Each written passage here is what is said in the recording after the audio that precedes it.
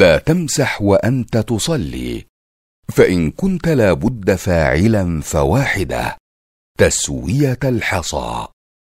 ويحرص المصلي أن يمسح الأرض عند الحاجة قبل بدء الصلاة.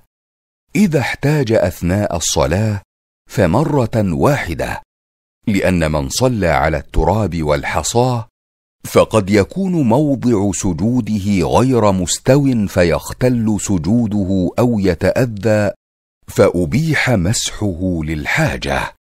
وقد انصرف النبي صلى الله عليه وسلم يوما من الصلاة وانفتل إلى أصحابه وفي وجهه أثر الماء والطين لنزول المطر وكان مسجده عليه الصلاة والسلام.